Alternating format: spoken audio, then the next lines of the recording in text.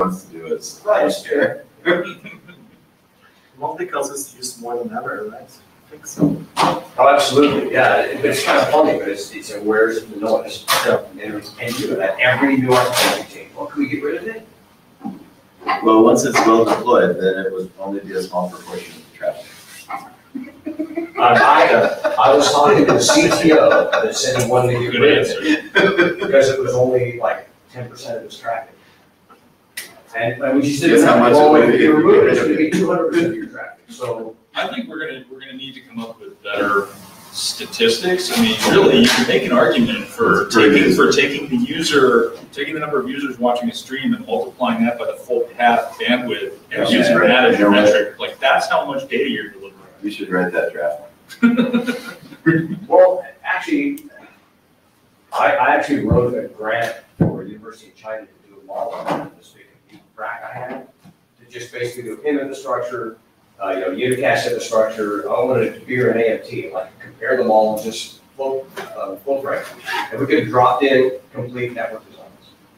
Uh, I think I have put. It was a big viral demo we do on the, on the mini pods we had. Then we dropped the mini pod and I just want to support it. This happens over and over again. Everywhere I play, they, they like take the toys away. Would you like to start shaming people into scribing? Uh. BJ, Gotta give you some, uh, minutes. Uh, I'm busy. Busy. I can, I can, I can take it. Sure, are you sure up for it? Uh, not This is during a my, cold, cold ask on my part, I know. I- not, I'm- not during my time, but, uh, Okay, I'll, I'll, I'll, you gonna uh, cover it? I'll take your notes. Okay. Yeah, you, you're gonna do them the. You guys are great, oh, your beers. All right. You, you actually, I've already, I've I've had too much beer as it is. He made eye contact with the Rolling Cone at the, at the very, Looking the dumb. worst moment. Actually, Jake just told me that worked outside before the meeting.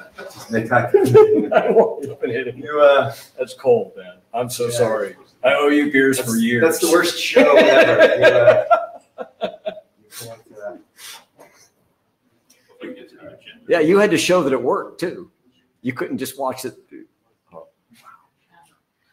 it's all good. It's all good. This is the way it works. We need.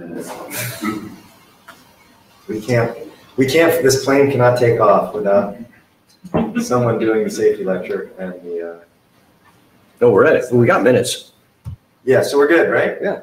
Uh, do we want to wait another minute? We're kind of in the corner here and maybe people are on their way converging, so When we go outside with a megaphone, do holler down the street.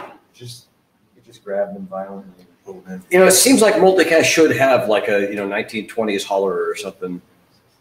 Just kind of vaudeville stage with this little horn. Come on, come Yeah, on. because- That's right. Because it's just- Every man a presenter. Everyone's a winner. Come on in. Hurry, hurry, hurry. Point of license, point, uh, Yeah. verbal transport. Like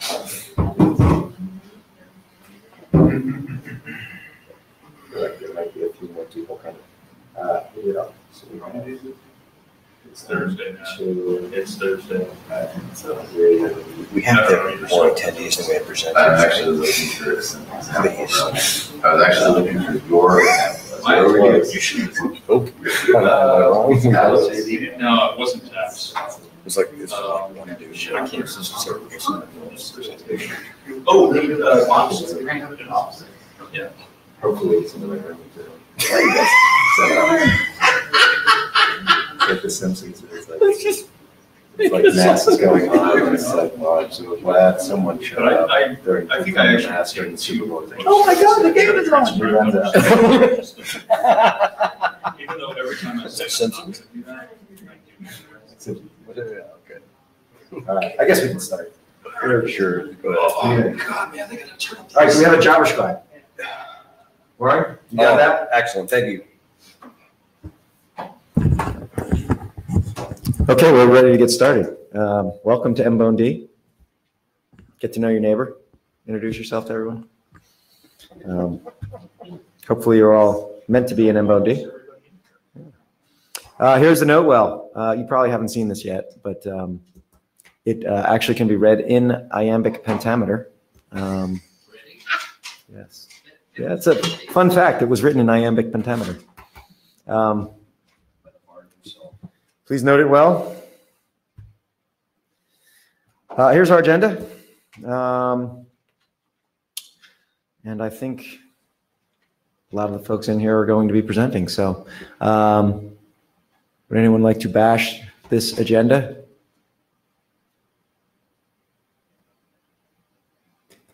I don't think we have a whole lot of I think it's lovely. whole lot of uh, potential controversies on this agenda. Okay, so uh, let's get started with the status of the active drafts. Um, uh, the first two drafts, um, the DRIAD draft, Jake's DRIAD draft, uh, did just complete working group last call. It is in the hands of the Shepherd, and we would like to thank Tim, uh, Tim Chown, for um, uh, volunteering to shepherd that one. Um, the MCAST problems draft uh, did complete work last working group last call with um, there were some minor revisions. Um, we'd like to kind of go through. Uh, Charlie's going to provide an update on all the changes that were made. Most of them were textual. Some were, you know, everything was minor, but there were a few additions.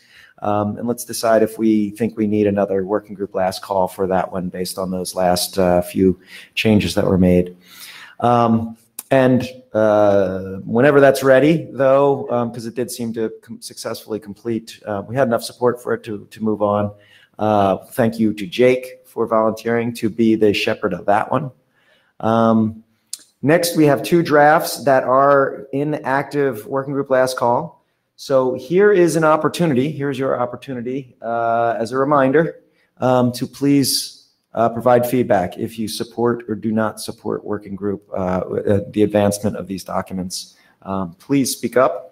Uh, we're running that um, last call for the next few weeks, but we wanted to run it through IETF uh, so that we could remind everyone in the room that, hey, here now would be a good opportunity to, uh, if you forgot to send, hit the send button on your email that you uh, have feedback on these drafts. Now's the time to do it. Um, the last active work uh, uh, draft is the Yang models, um, and Sandy wanted me to bring this one up uh, because she is she is looking for feedback as well. Um, is this ready for working group last call? Um, first, uh, what what what what is the uh, Stig or, or Warren, what, what exactly is the process for the Yang doctors? Do we send it to them after working group last call? Do we send it to them for feedback uh, prior? How, how does, what are we supposed to do? What's the interaction? Uh, Stig, so you can actually go in the datatracker and request a Yang doctor review. Okay, You can do that before before last call if you Okay. want. Doing it early, I think, is for good, so you can find any issues. Yeah. in case fix them now. Yeah, the earlier the better. Um, while you're up, Stig, uh, I, I'm guessing you have the highest per- percent likelihood of actually have read, read this. Um, have you read it? Do you have any thoughts? I I have read it, um, but I feel like I don't know. I'm not that much involved with Yang myself, so it's kind of hard for me. And I'm afraid it's the same problem with most people in the working group that we don't maybe know Yang that well. Okay. Uh, and also, though, you know, ideally there should be operators. So they were saying, does this model include what we need? But um, Gotcha. yeah, Okay, so we need more uh, provider input um, on this one.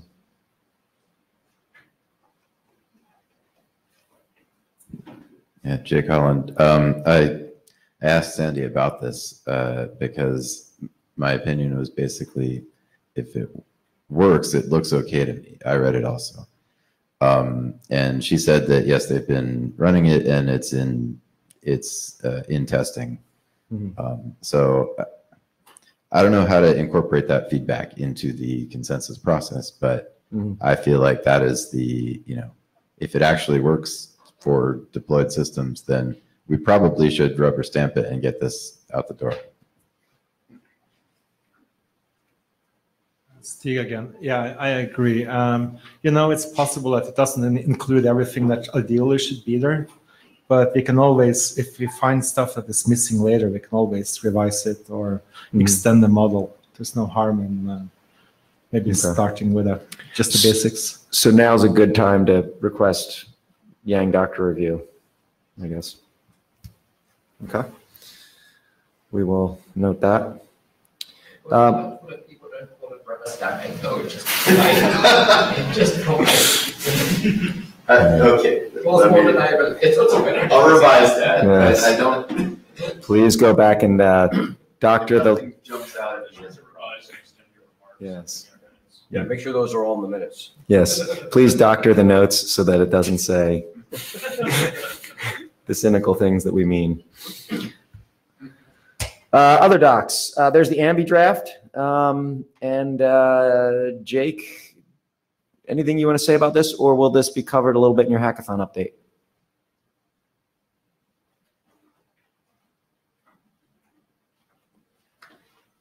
Yeah, Jake Holland. Um, I have not implemented this yet, but uh, but that is the plan.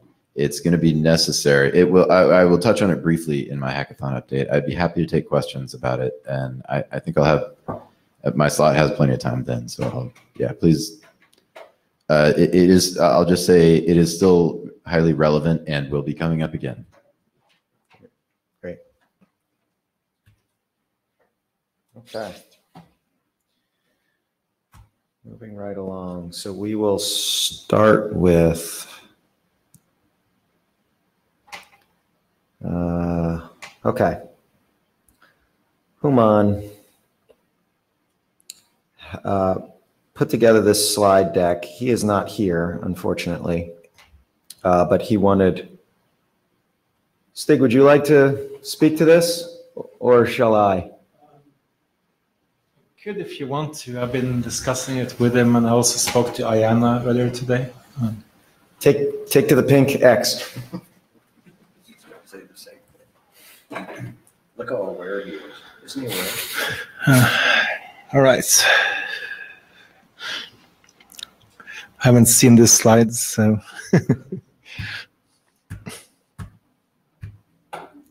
All right, so mtrace version 2 was published as an RFC recently, and we got a UDP port number from IANA. Um, but then it turns out that that port number is- in a range used by Traceroute on Linux and I think on some other Unix operating systems as well. So the uh, I'm not sure how much I need to explain, but basically Traceroute uses like 100 ports or so. But they only got one port assigned from IANA, which is in the port registry. Uh, the, the, the port numbers coming after that, the next several hundred ports were just marked as unassigned. And mtrace was the first application or service that got a port number in that range. Um, and the problem we're seeing now is mtrace is actually working just fine. But if someone does a trace route, uh, what trace route does is uh, I think it's like the first packet has like the lowest port number. The next one with a higher TTL has the next higher port number and so on. And then you um, you expect from routers on the path to get an ICMP message back because there's nothing listing on that port. And you can then mark the TT, show the, the round trip time and stuff to that router. But if something like mtrace is listing on the port, then there's no ICMP message coming back and it will just show up as a star and kind of like timeout in trace route. So the problem here is not really mtrace, but trace route is sort of broken. Is there, is there any spec for this uh, trace route behavior? no, I don't think so.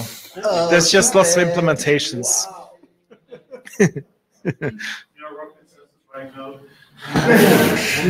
Yeah, Kyle Rose, is there, who maintains Traceroute or is it just kind of like dead code that's? right. No, I mean it is it is being maintained. Um, so I'm not sure. Uh, you know, this it's been around, of course, for decades, and there's probably several implementations, and some of them are maintained, some are not.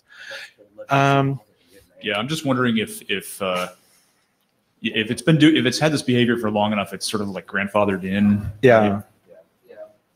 So, but then it would be up to us to basically I don't know, can, can we make sure IANA reserves this? I mean, okay, we get a different port. Yeah, so I spoke to Unless we get a bit different port, we're not going to say anything because first we want to have M-Trace work, but Yeah. uh, then basically IANA needs to block this. range. yeah, so I can comment on that. Before we that. go that far, so I have a Name? question. Uh, Lenny, uh, Giuliano, um, Juniper. So here's what I don't get. I mean, Windows doesn't do this. Windows sends an ICMP echo reply and with a TTL. And the important part is it sets it with a TTL and it expects a TTL expired.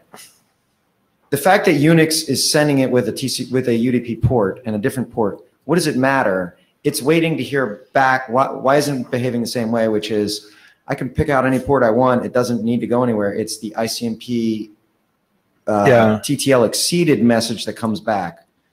The- the Why pro- does this break? So the problem is, um, um, let's see.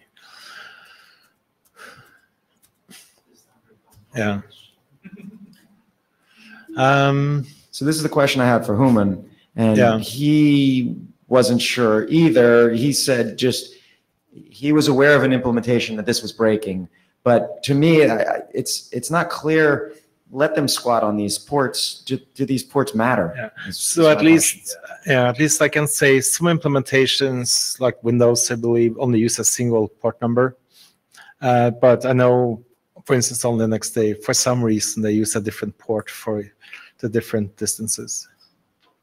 So, Warren Kumari, as far as I understand, Unix uses multiple port numbers because otherwise you have to send one traceroute packet, wait for it to come back, send the next one, wait for it to come back. If you spread it across multiple port numbers, you can fire a bunch of them and get your responses faster, is what I'd understood. Whatever the case, traceroute has been around for so long and is so widely implemented according to the Unix way that I don't really think we can say, you know, all implementations should go off and fix themselves. Yeah. There's equipment that's been deployed for so long that Yeah. I think we kind of, in fact, I think that uh, Juniper, for example, does their trace routes using multiple port numbers as an example. Um, so, I think the right thing to do here is be like, oops, we're going to have to move and then ask IANA nicely to Yeah. please block off all of these. Right. So I spoke to IANA in in the break here, um, and uh, comment before that, or You know, I, I, I- I have to ask somebody who knows better, but I thought there was also something related when you go through a NAT and a firewall or so. But so I think Kumari's. Uh, yeah, no, I'm sure there are some reasons for this, but, but yeah, I spoke to IANA in a, in a break, and um, they were saying, yeah, it should be possible for us to get a different port number. Um, we may need our AD to sort of approve of it or something. I'm not sure, but but uh, I guess though, if you were to change the port number, it means that we need to update the existing RFC, maybe even obsolete it to make sure that people don't implement the old one with the wrong port number. I don't know, but we need a new RFC at least with a new port number, and and then uh, Is an ask IANA to update the Has an registry. errata been filed? Uh, I don't know, Yeah. So the first thing is file an errata. but it's not really an errata. It's well, Because it's don't not know. errata yet. Oh. No, it's an errata insofar that it doesn't work, right? I mean, at least that's. Yeah. No, M-Trace works. It's trace route that breaks now. Okay, all I'm saying is we have process to create visibility. I would be Yeah. more worried about making sure there's Okay. visibility than whether or not it Yeah. hundred percent matches the intended process. Ah. Yeah, I mean, wow, static. Um, something similar kind of happened in, sorry, Warren Kumari still. Something similar happened with HomeNet, where there was some advice which turned out to not necessarily be great. I'm not saying that that's what happened here, but I think the right thing to do is to file an errata. Errata can't be used to actually update an RFC. And so it would have to be rejected or marked for document update, but at least we can point at it and there's some warning. Yeah. Um, and then at the same time, there should be a new RFC, like a new draft, which can move to RFC really quickly, being like identical to the last one with the string change. So we would need a new RFC. We couldn't just use errata and just say, and change the port through that. No, I wish you could, but I think it's going to be, Yeah. but it should just go through the process really easily, especially if the only thing that's changed is one thing there, and it should be already fast. Yeah. You know, we could also ask the RFC editor to do expedited processing because it should be a single number change. So- and maybe like a paragraph explaining Why? why. Yeah. Yeah. It's unfortunate, but Jake Holland, do we know how to avoid colliding with the next port we choose? well- let's not make sure we get the, get the very Um, no comment, but um, I guess we can Google it, and, you know, do a man on trace route and Yeah. see what, what, But yeah, the other thing, uh, the other thing IANA said is uh, we can report that you know that they are kind of like using some unallocated ports uh, that traceroute is, and and they can they can kind of block it internally so they don't accidentally give those port numbers to others. But ideally, they would prefer if we can find someone from the traceroute community, whatever, that can uh, you know sort of officially request answer the full for range for trace routes. discretions. They we Yeah. can send the, know where to send IANA to send the IANA police. And Yeah. Booted thugs to. Right. Yeah. But yeah, we can just find I know like the maintainer or who who last made a change to Linux trace route or whatever, and, and oh.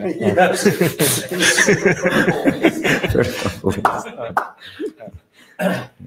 And, and, and ports are within jurisdiction, I assume? Yes, Okay. I feel safer. It's good to know we've got somebody on the beat. I'm sorry. This is a- All right, so I- I guess the, the plan is we will file errata and then we will reach out to IANA to uh, tell them what's going on and then we will resubmit a new, yeah, I guess you you need s- what we're doing. you need someone to volunteer to write a new draft. I guess I guess the old the the office of the old draft, whatever. Well, we've got Hitoshi here and you saw that document from, for a long time. Um, So I assume you, you might want to be involved in this one as well. Um, So this, this should be the easiest revision you've ever made to that draft after, I believe it was 18 versions, or were we in the low 20s? It was, it was, yeah, 26. 26. All right, well, and here I said 26th time is a charm. Apparently I was wrong. Okay.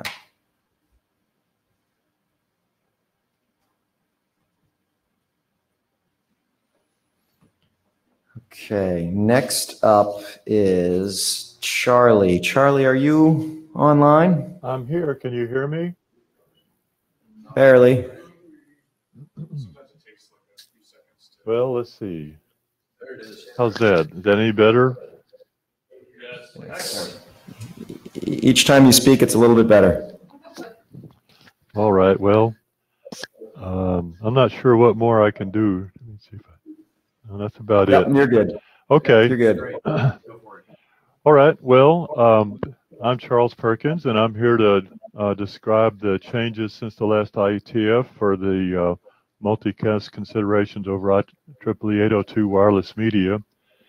Um, so I guess next slide, please.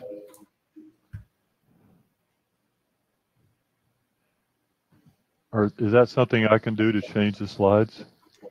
No. Okay. Apparently there's, All right. Well, um, so after the actually gets there. after the last IETF uh, and during the discussion in the IETF, there were quite many comments. Uh, Some of them were generated at the hackathon, and uh, after that, uh, I submitted uh, revision number five on um, April 15th and requested uh, working group last call. Uh, next slide, please. So here's a, a list of the some of the changes. Uh, there was a new section. Uh, essentially, Jay Holland just gave me the, the text for conversion of uh, multicast to unicast and included uh, AMT as an existing solution and uh, described some uh, future applications that would emphasize the need for attention to the technical matters that are described in this document. Uh, th- there were several places all, all along in the text that were uh, generic to sort of, I mean, that needed to be more generic instead of referring to uh, specifically IETF conference solutions.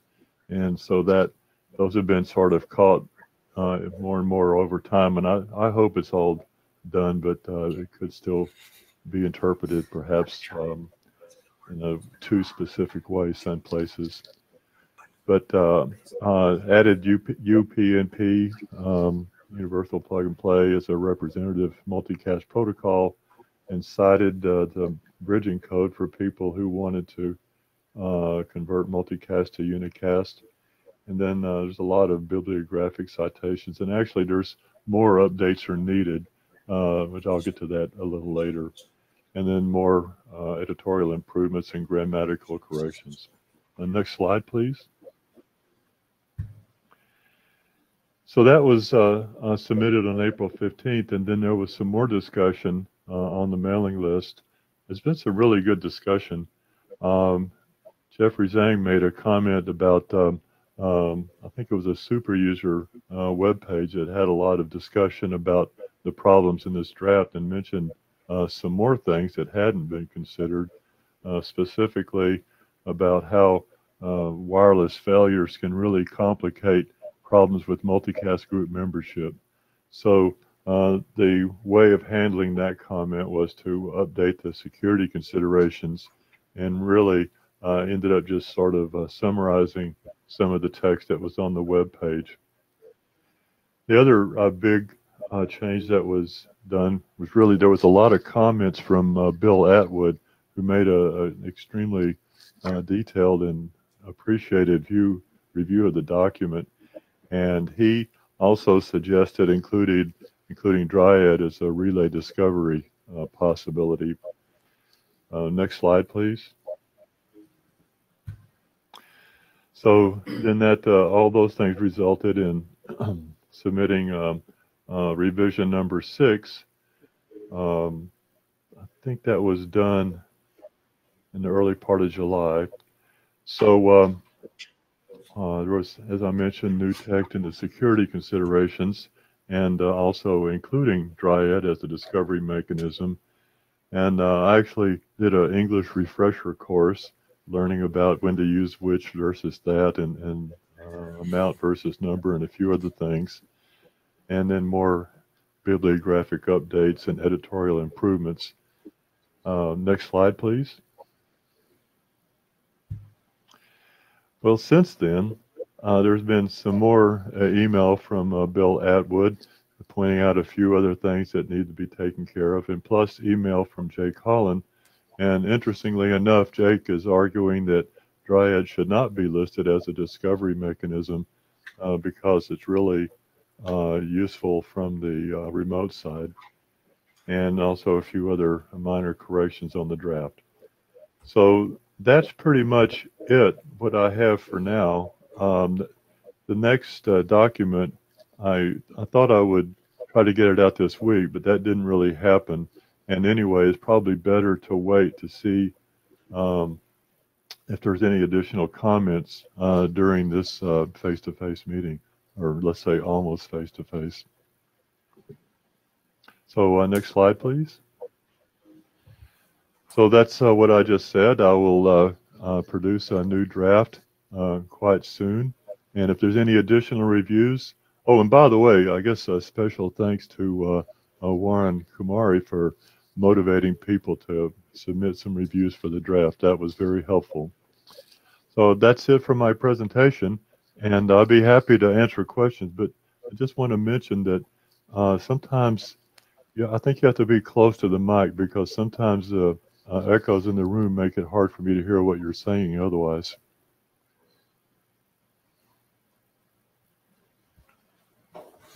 Great, thank you, Charlie. Um, so I, I think given the changes you've described, um, I think after you get that last, that, that uh, next rev out, um, I think we should have a, a brief, uh, another working group last call because these are, you know, some substantive uh, additions. So um, we'll, we'll, we'll run another uh, quick last call just so that folks have an opportunity to review what the changes have been made uh, and make sure there's no objections to those changes.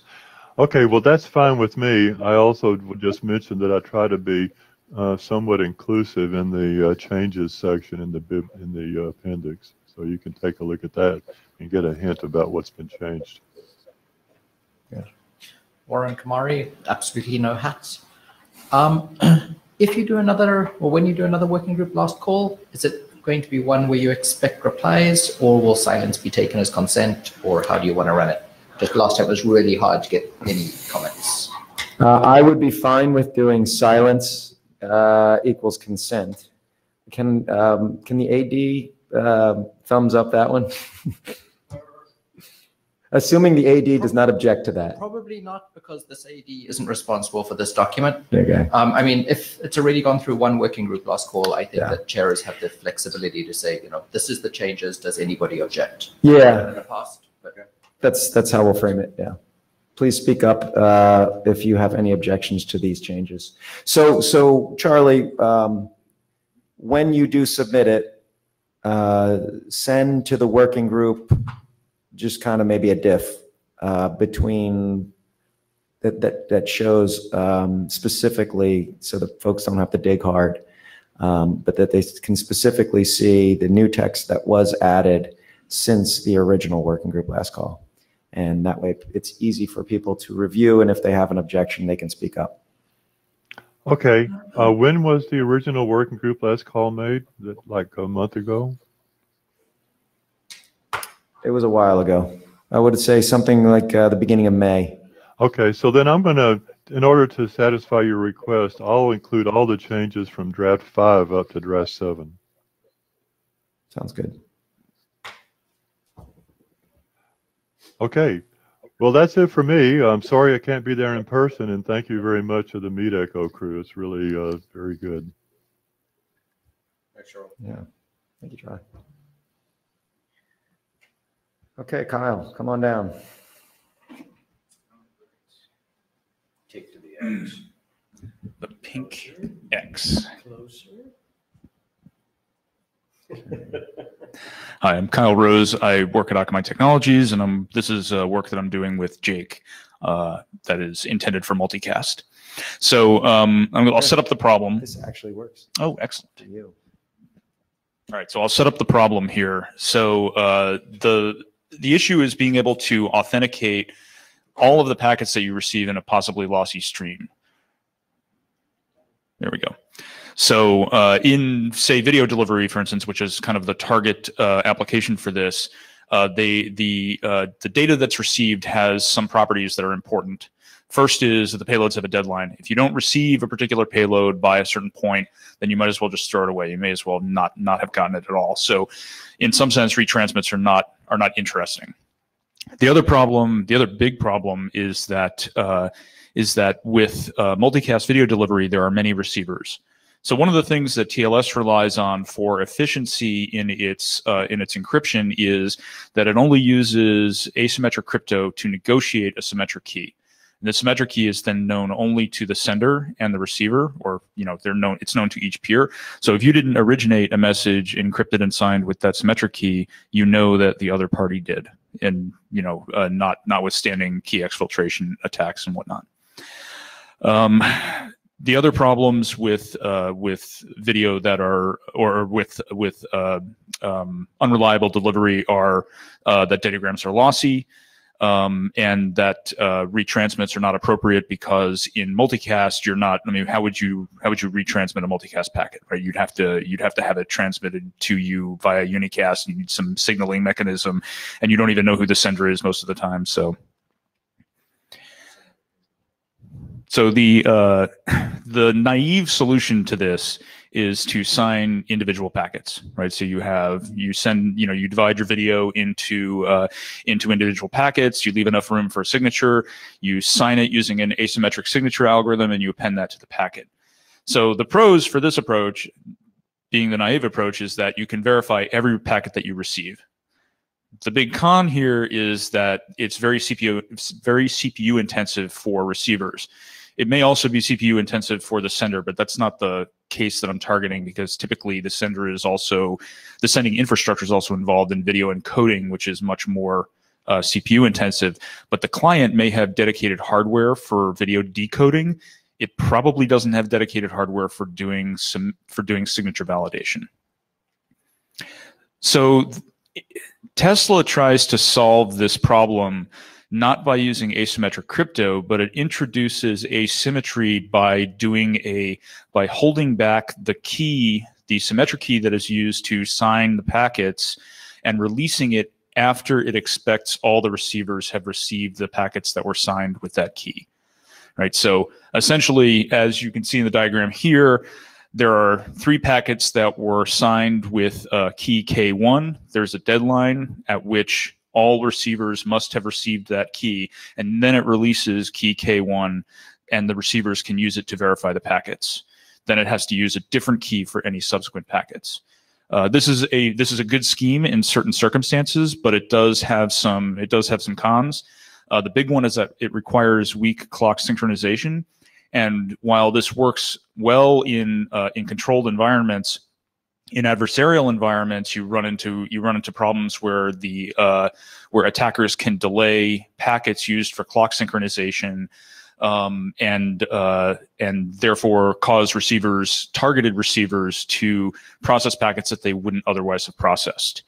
Um, the other the other big problem that we have is that uh, if you try to use this interdomain by using say NTP, well, even with even with NTS, which hasn't even been, been standardized yet, I don't know that I as an as an enterprise or I as a as a uh, uh, uh, CDN employee would want to trust NTP as a security mechanism for the streams that I'm publishing. So once the key's been released, all bets are off, and any receiver can then can then uh, inject a packet signed with K1 to any to any other receiver that is still willing to accept them. Uh, totally second. Sorry.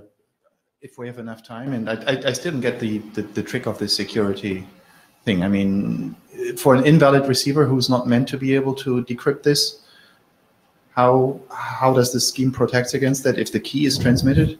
So this isn't this isn't an encryption scheme. This is an authentication scheme. the The idea is that is that the the publisher. I mean, and this is not the algorithm that I'm that I'm talking about in the rest of my talk, right? But the idea here is that is that in order to keep a one of the receivers, which in order to authenticate the signature has to know K1 from injecting packets into the stream, it can it cannot get K1 until after all the packets have been received. Yeah, sorry, I should have made that I should have made that clear. okay, no problem. Yeah, if, uh, Stig here. You have time, I have a pretty naive question, I guess. I'm kind of wondering, do you really need to rely on NTP? Couldn't you say that this key is valid for whatever you received within the, the, the previous few hundred milliseconds or something? I mean, do you need to use like kind of well, the problem is that that an, an attacker that is trying to target you can delay the can delay the packets in a way that causes you to authenticate something that you wouldn't have authenticated if it were just if it were expected network delay. I don't want to get too far into analyzing this though, since this is uh, sort of where I'm going with this is that there are situations in which you really do want asymmetric crypto to provide your asymmetry.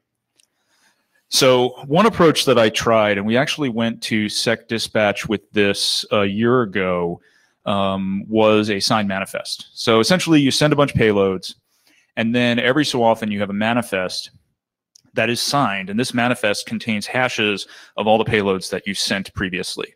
So the pros of this is that it's lots of lots of fast hashes, only one signature per you know n packets. Um, but the cons are, well, what if you lose the manifest? Well, you know you can send them multiple times but you're still going to lose some of them. And when you lose a when you lose a manifest completely all of the packets that it signed are now unauthenticatable and so you may have some huge cap gap in your video.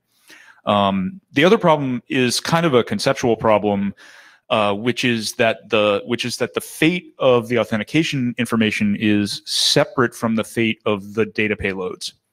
So you can receive all the data payloads and not receive the authentication payload. And that would be a perfectly normal situation to expect on the internet. Uh, and in that case, all of the data you received is now useless because you can't verify it. So a different approach is to use chained integrity, right? So here you have a series of a series of packets where each packet contains the hash of the previous packet. And then occasionally you have a signature that allows you to, that acts as the uh, as the trust anchor for that sequence of packets.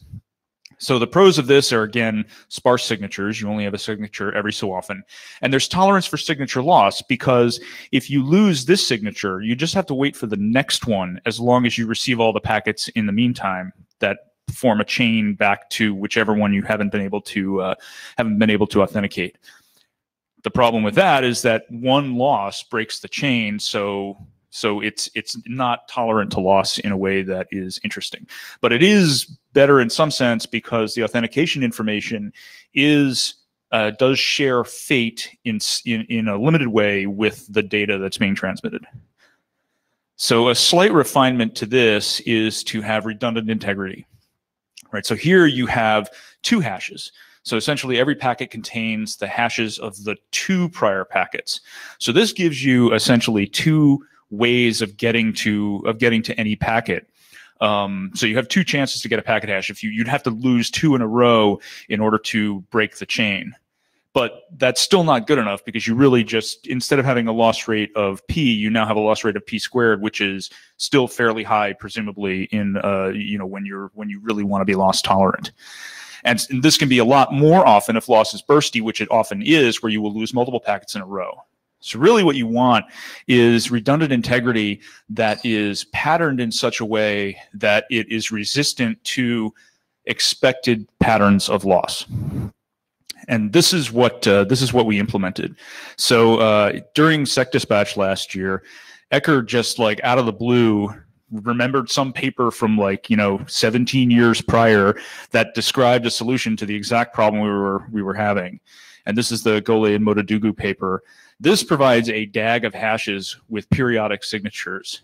The the so in in this diagram, uh, the the arrows are directed in such a way that that a hash of a packet is contained within the the packet at the end of the directed arc right so so in this case for instance um, the hash of b0 would be contained within the packet a4 right i'm not going to go through this believe it or not it's a dag uh, this is actually a simplified version of what is, what the algorithm is actually doing, but it, it's it's a little bit complicated to read the paper to understand how to do, how to do the construction.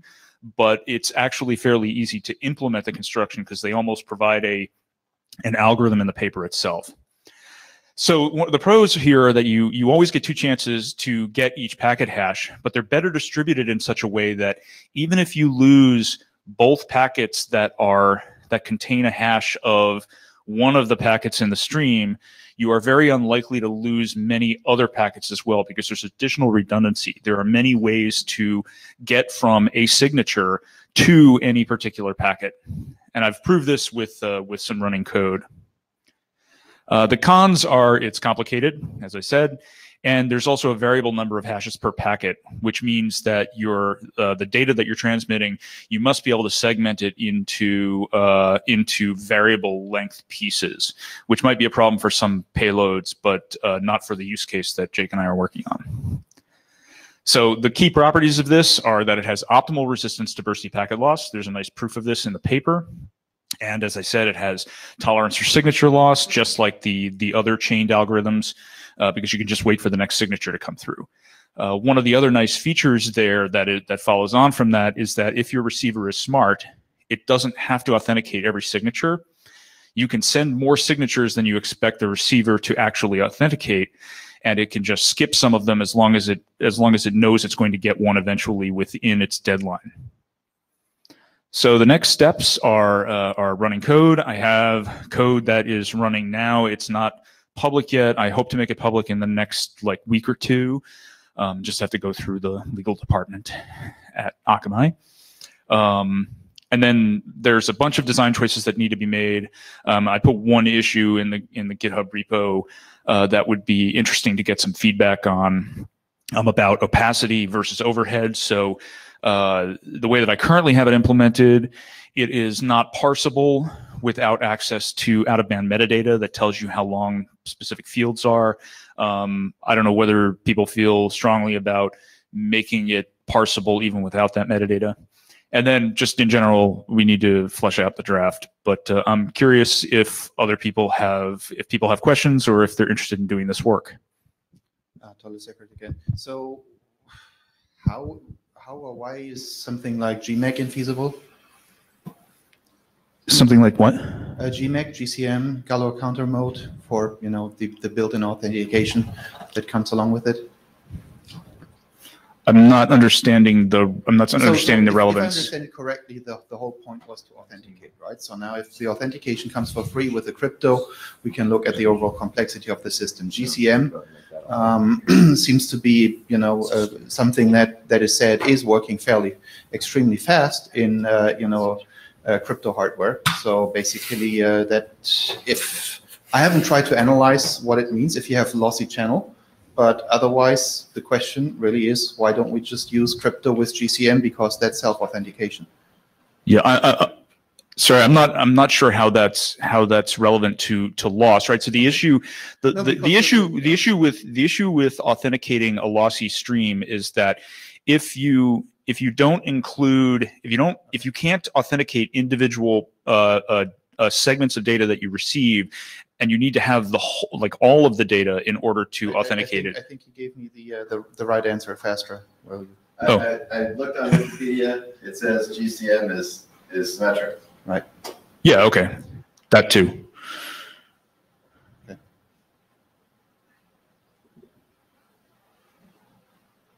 Okay, any other questions?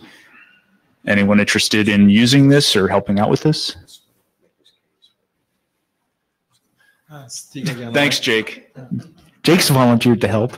So I had one thought, the one thing I'm wondering about, maybe stupid question again, but you know, you can do like a manifest, as you said, they'll say every five packets or whatever with signatures. So I was kind of wondering if you take that manifest of five packets, then you use some redundant coding of that, and you include, you know, parts of that in each of the next five packets or something like that. So that's actually that's very similar to what Jake is proposing. So we were not actually uh, the way that we're the way that we are uh, intending to use this is not to actually put the video into this payload, but actually to use this stream to distribute a manifest, a rolling window manifest of hashes of video packets.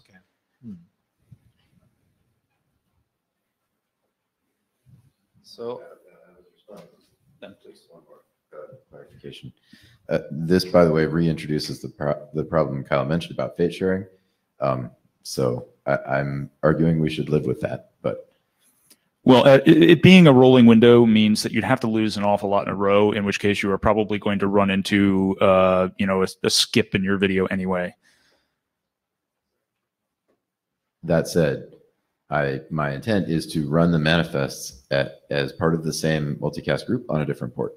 So they, they have some amount of fate sharing on, in the routing layer, but that's different. so I, I didn't really ask the stupid questions intentionally, but No, no. let me take them as a proof that this No, group so you should you should take my response as I'm confused, right? Um, but let me let me take these Eckert guys. I'm I'm the one with the teeth, the stupid guy. The, the other one without the teeth. You know.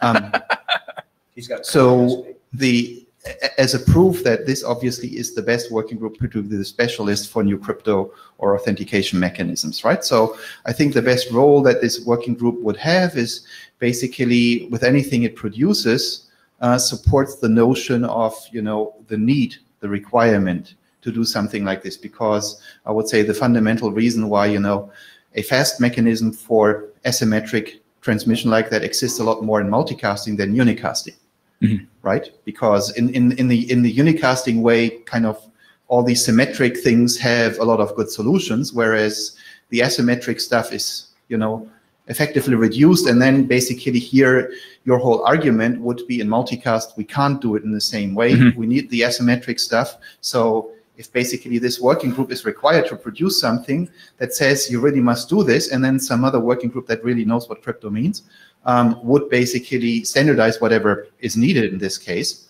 right? But I mean, this is not a protocol work working group, right? So and, and PIM wouldn't be a protocol working group either, right? This would have to go whoever does authentication, encryption, or authentication encapsulation, right? I don't even know what it is this time, but I think we could only create the requirement saying this is a cool thing and we really want to have something like this. Yeah, I, I think you're probably right. I kind of, I kind of, uh, I, I, I skipped part of the spiel that I had prepared, and I probably should have included that, which was, which was, does it make sense for MBONED to take on this work? The reason I brought it here was that this is the group of subject matter experts about the application that we're planning to use it for.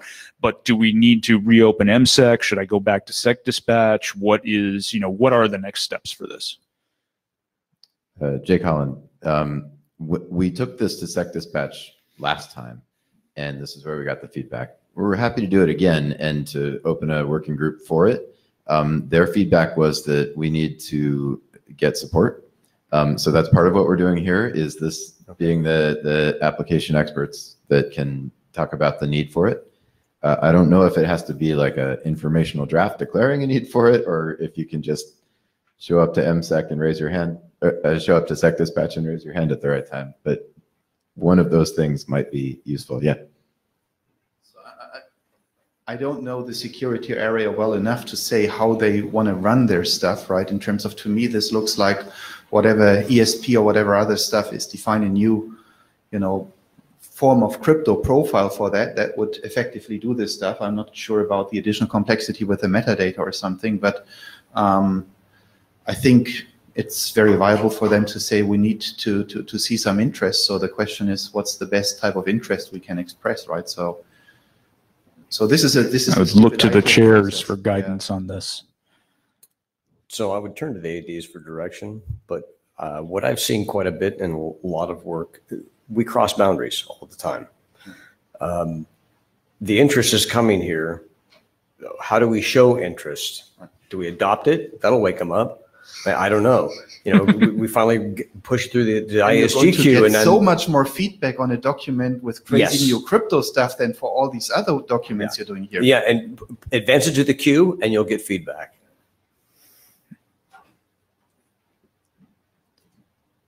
Wow, you're tall. um, to me, it does feel like having this discussion in a group that has a lot more crypto people would be much more valuable. Like, it seems as though there's enough stuff here that's easy to shoot ourselves in the foot with. Um, This is Greg. I I just, I don't disagree with you, but I think I would frame it differently. I wouldn't say more valuable. I would say additional value. Okay. The use case is just as important. They, they don't see a reason to do it. We do. So together. Yeah. Right. So, you know, requirements are clear. Um, there's a solution here that may be enough. Even getting their sanity check on something is usually the case. When we cross boundaries, it's not often to throw it over the wall and have them do the work. It's just to ensure that those experts get a chance to review our work.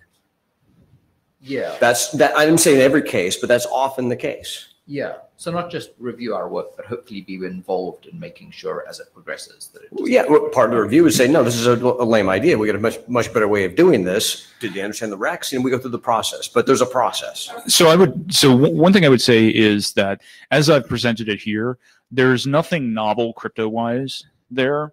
Although there are some things that we would like to do that probably would, uh, you know, probably raise the hairs on the on the you know the back of Ben's head uh, if we actually implemented them, such as like truncating hashes, right? How much can we do that and still have a security margin, right? So that's the kind of thing where we would definitely need uh, security area input. Well, but don't don't you feel that uh, you know um, the amount of crypto review on? I mean, there is this metadata channel which I don't know, right? So there were these parameters that you said, right? So I don't know anybody here who could, and and, and that may impact whether you need a metadata channel or whether we feel, oh, we can just statically define a profile that will be fine forever, and then somebody comes around and says crypto agility, and so I mean, there there's a lot more stuff which you know i think uh, if we do it with review afterwards towards the end right we do we do everything working group last call and then core issues come up right so it, i think it's fine to get started with this one block requirement use cases one block proposed solution worst case this is getting snipped in the middle and the solution goes to a, a working group that does it better right Thanks. Uh, anyone else? All right, thank you.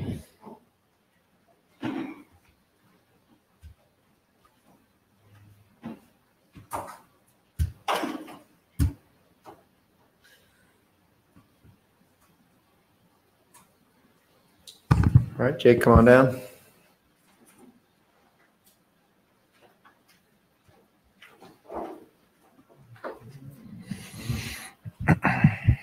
Hi, Jake Holland, and uh, I was going to talk about the hackathon. This, uh, this will work. Yeah. All right.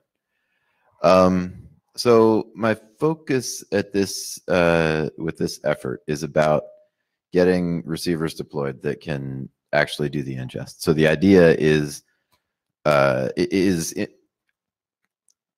broad deployment for something that's going to implement the discovery because the the new discovery that we're that we've recently passed uh, last call complicates the multicast application um, and making sure that it's going to be viable to get it in and the the crypto that we're that we believe is going to be necessary for the receivers also is going to complicate the application.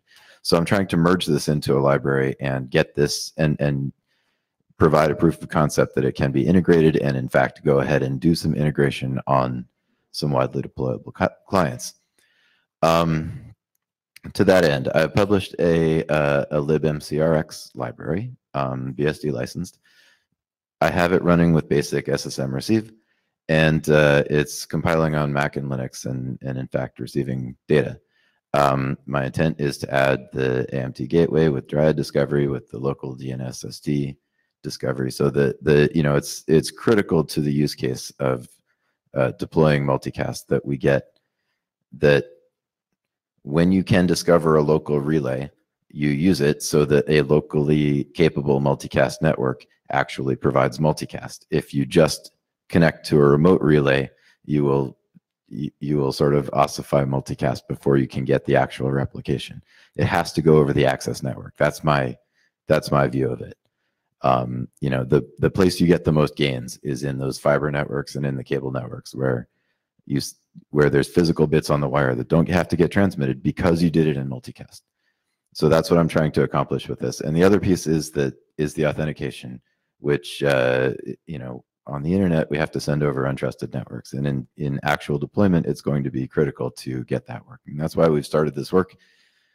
We're going to try and make it run, and it's going to go into that library um, with the same API or a, a- a- a small extensions to the API that's there now for how to do the receive. From the application side, it will be relatively invisible.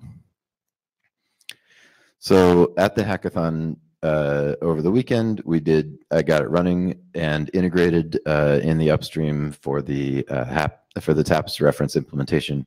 It's a Python implementation of TAPS. TAPS is, is working on a, uh, a sort of replacement API for socket libraries. Um, so I've been participating with that group, uh, and I have now uh, integrated this multicast receive library into that reference implementation. It was running.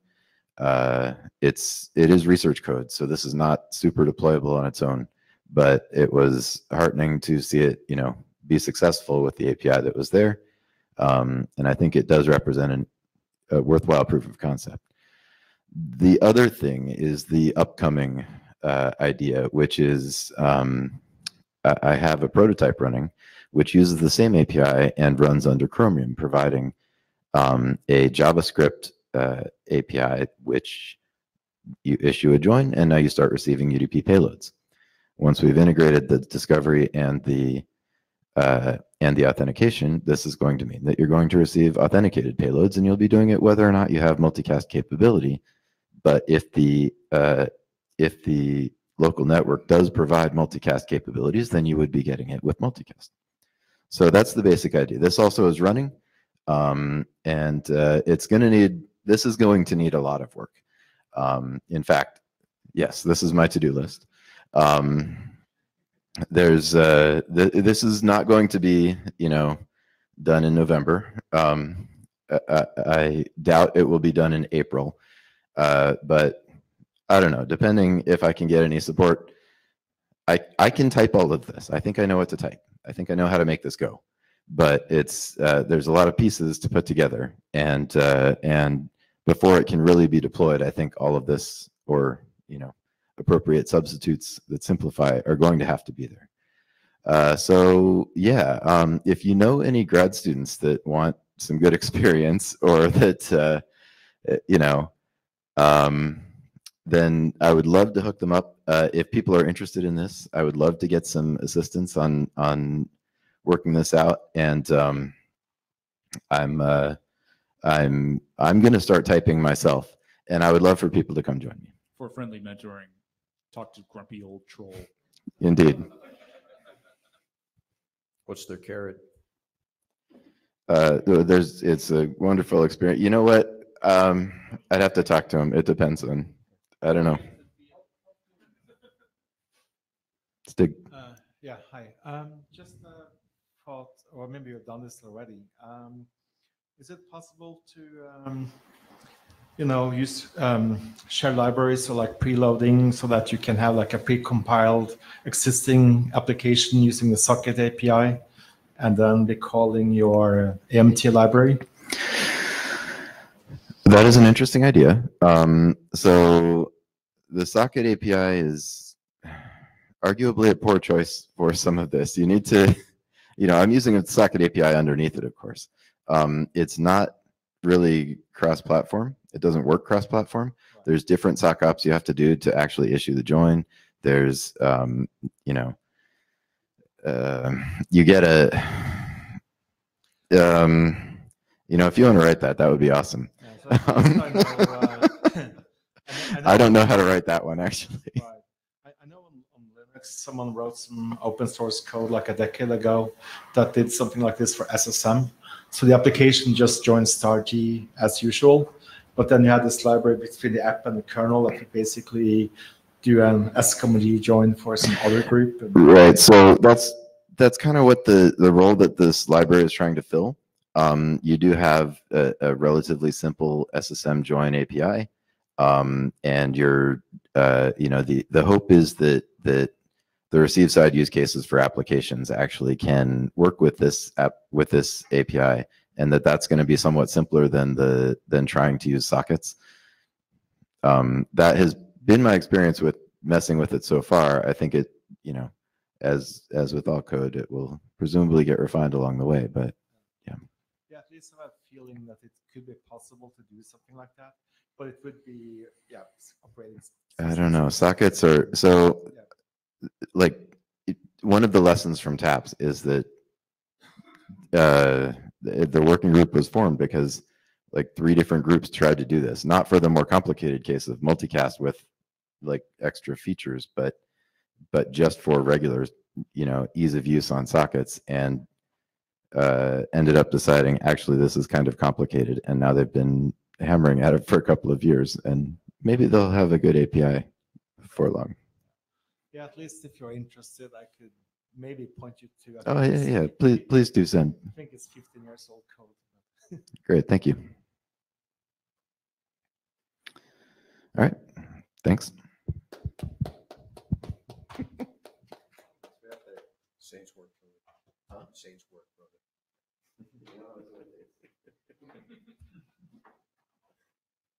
Yeah, Thank you for maintaining a a good multicast presence at all the hackathons. And uh, yes, you're doing the work of the Lord. Okay, we are. Leslie, come on down. And Glenn. So, uh, the media ops BOF, uh, there was a media ops BOF occurred Monday. Monday. Who here in this room attended? Okay, so It was about a a- free buff last. a third of the room. And this was uh, the first BOF after the one in Chicago. Was that correct? There, I, rem- I remember It's the, Chicago. fir- Was it's there the any- first formal BOF. Okay. That was a bar off. That was the bar BOF in Chicago. I remember that. And there, there hasn't been anything uh, formal, but you've been, you've had the list going and. uh, Right. So we've been we've we've been talking about video uh, at the ITF. Had an informal group over the course of the last two years. Yeah. Yeah, so since since Chicago, Chicago was kind of overwhelming with the number of people in the room. We went to a much smaller group, um, sort of less formal, called the Video Interest Group. That's been meeting at every ITF uh, since then. Um, and uh, which has been pretty good because it's allowed the sort of the, the nascent ideas to sort of form and say, well, what would you work on? How would you tackle things? And I think we've developed a really good community of um, interested parties, both individuals and, and, and organizations that would support uh, the topic space. Uh, but now it's time to maybe make it a little more formal and do a little bit more. That's why we called for the media ops BOF to sort of open it up to the rest of the, the, the world. Um, so people who were in the BOF have heard this part of the song and dance before. Um, so part of what we were hoping to do with that was to highlight the fact that there are many video activities that are ongoing at the IETF that don't actually fit in any one particular place. Um, and identify gaps in IETF work and areas of incompatibility with video technology development uh, efforts being carried out elsewhere. So, for example, um, Glenn gave a presentation about the S the SMPTE dependencies on IETF standards. Um, there was um, representation from folks involved in the SVA, the Streaming Video Alliance, in the room, um, and these are all other organizations that use IETF standards in ways that might be surprising to us. Yeah, so on that, um, I, I for people that live in the world of the IETF, they're probably not very aware of what's going on in some of the other orgs. Um, SMPTE is the Society of Motion Picture and Television Engineers. Basically, they do TV and they do broadcast. Um, they do production. They, they they run studios. They do all that kind of fun stuff. Um, that whole industry, kind of like the tele- telephony guys, migrated. You know, and we had SIP. Um, they're migrating from uh, a protocol called SDI, which is a, a point-to-point protocol that they that all the gear is wired with, allows them to stream their streaming, uh, move content from sources to destinations uh, in studios and in production environments, um, and then ultimately to you know, a broadcast tower or a cable network. Uh, they're migrating to this thing called IP. and they're, they're just discovering IP networks. And so one of the first things they did uh, was create this uh, suite of standards called 2110 uh, in their parlance, which essentially is how do you do all this kind of stuff we've regularly been doing over SDI? How do you do over IP networks? Uh, they learned a lot about you know updating their stuff to make it work in that environment. They also learned a lot about IP networks, things that worked for them and things that didn't work for them. And so they, you know, one of the things we presented was this long list of normative references that they have back to us uh, in the ITF.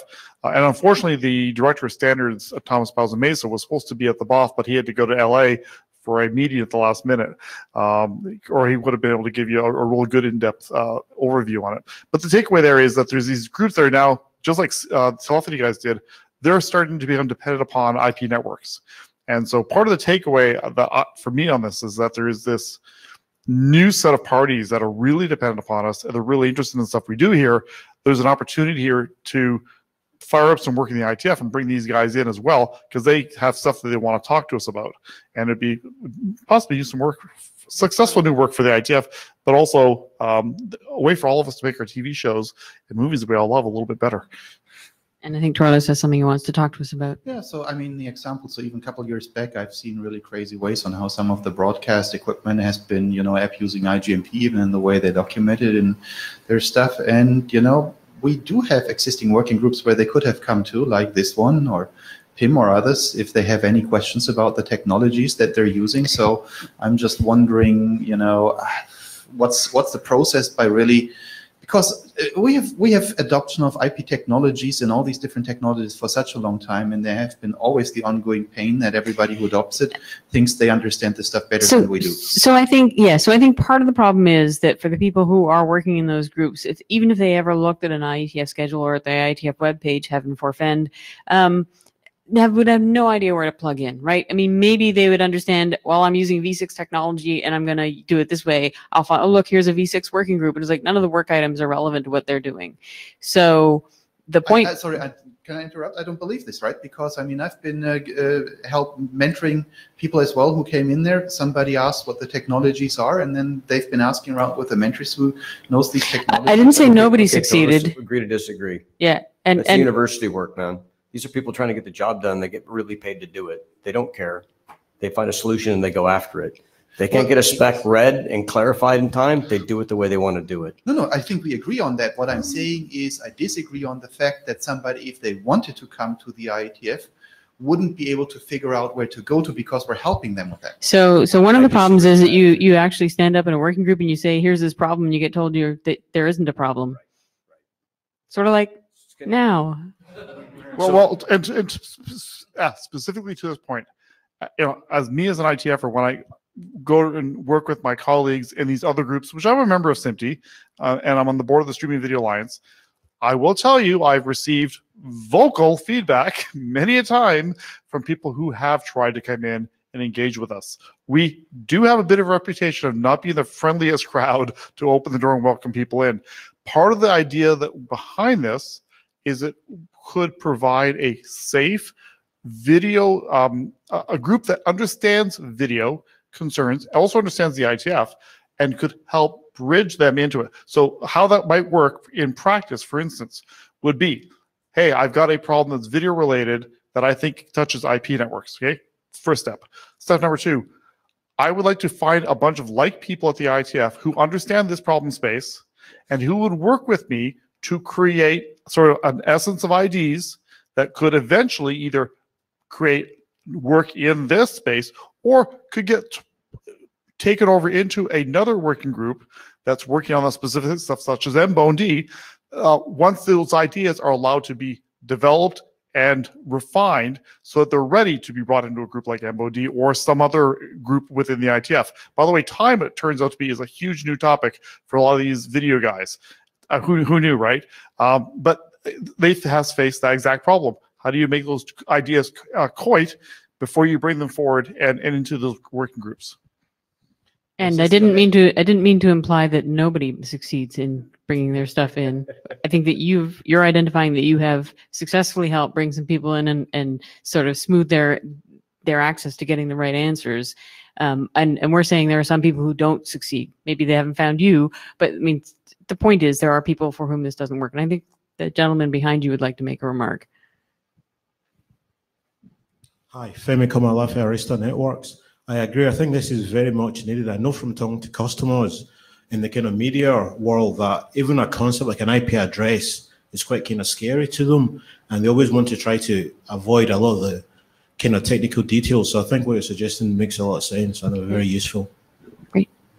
Um, so in terms of trying to do this this type of work, some of the challenges we outlined were the fact that uh, this video work is multifaceted, covers a lot of traditional areas, no clear single home for it, um, and therefore uh, some coordination would be useful, as Glenn was just outlining.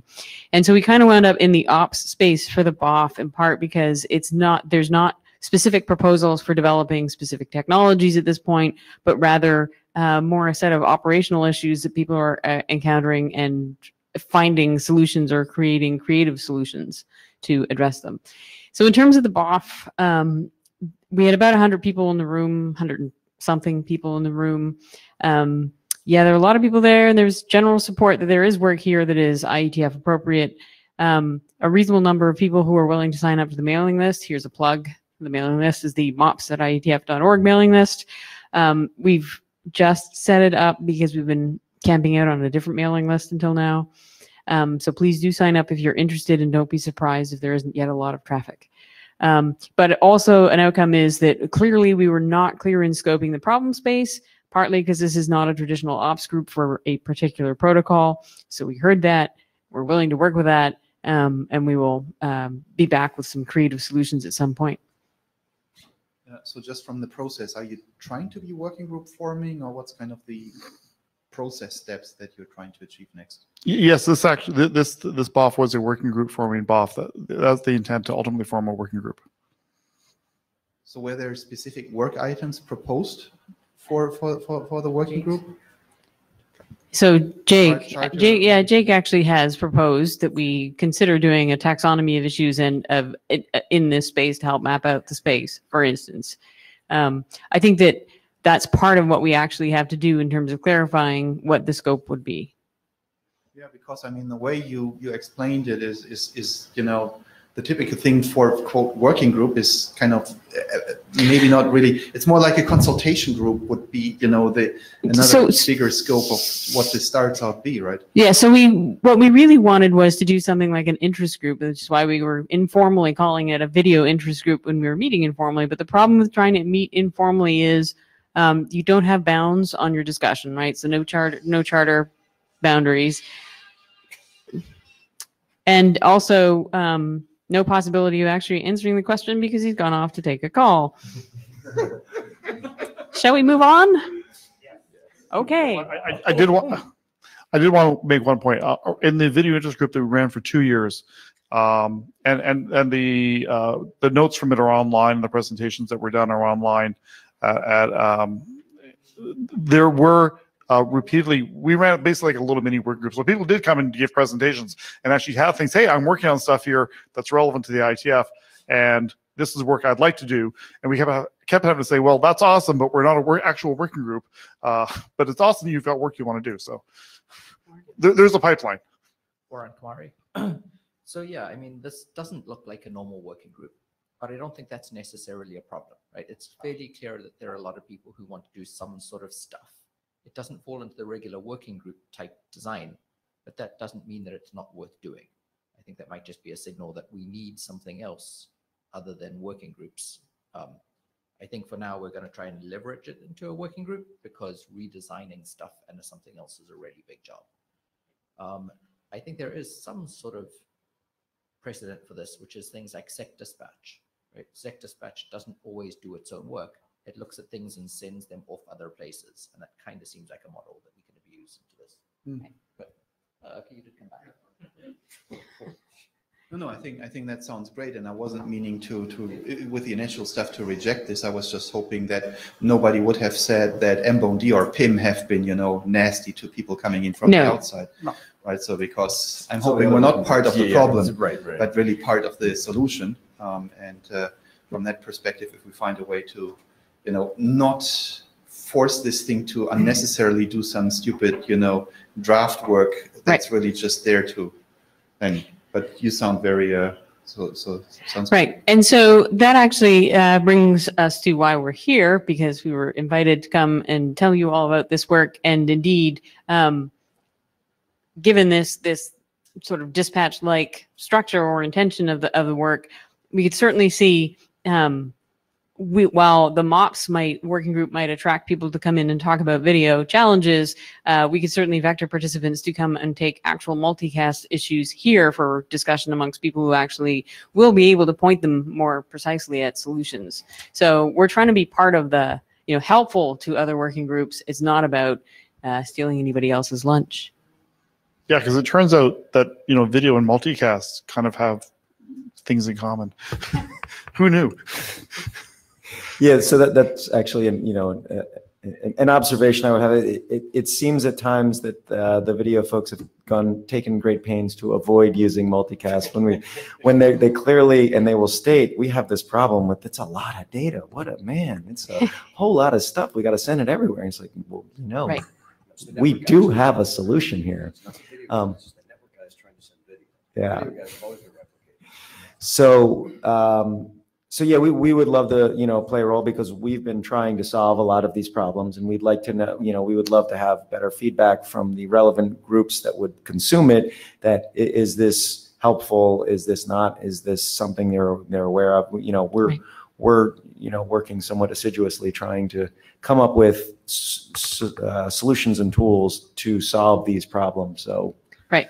So, um, I mean, this is what I threw up on, on the slide in preparation for this discussion. I'm, I'm happy to take suggestions for other bullet points. And one that, that pops to mind just now, as you're describing that is, you know, we might want to make sure to have sort of a standing item depending on the scheduling of, you know, hey, the other working group is meeting later this week. Here's some topics that should be covered. Or, hey, we met earlier this week and this is what we went over that's relevant to this working group. I don't, I don't see why we couldn't do some cross, some purposeful cross pollination on the agenda, for instance. And and don't schedule them at the same time. Yeah, Okay, that would we- be we good. will- We're updating our, our conflict list and uh, we will definitely uh, add you guys in there. Um, I- I'd just like to add from uh, a co-chair that I see this as completely complementary. Great. Great. Thanks. Yeah. Thank you. that our last one? Was that our last slide? I think so. Awesome. Right. Yes, so thank you for sharing and we, we look forward to collaborating and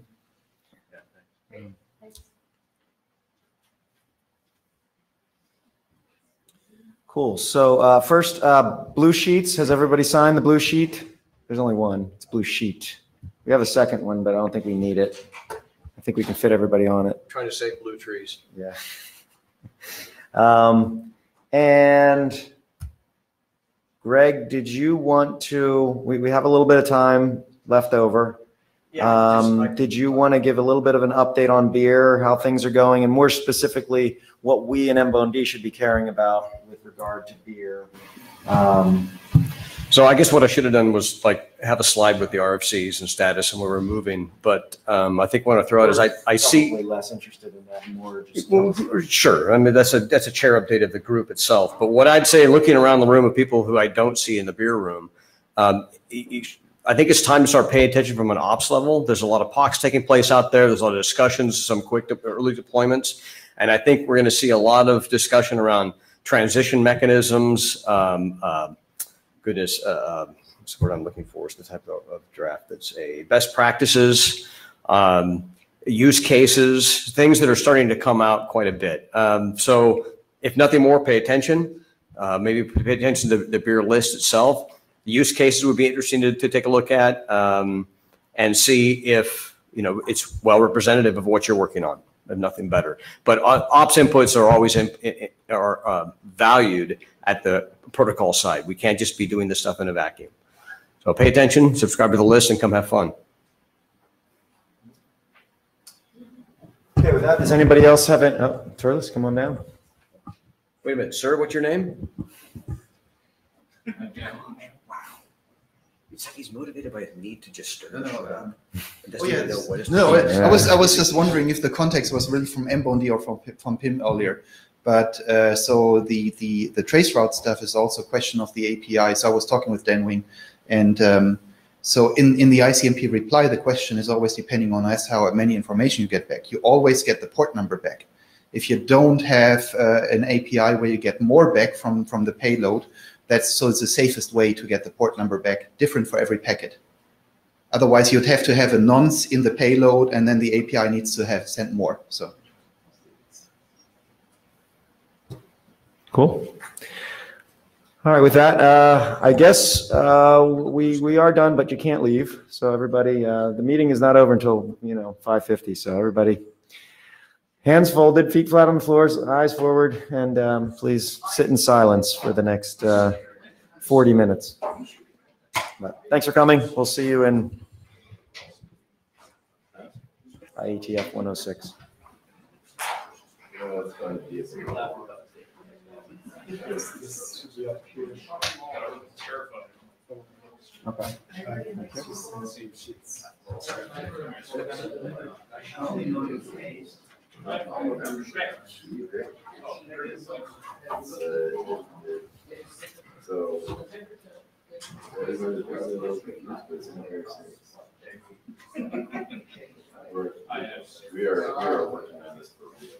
Anyone else? Blue sheets, last chance?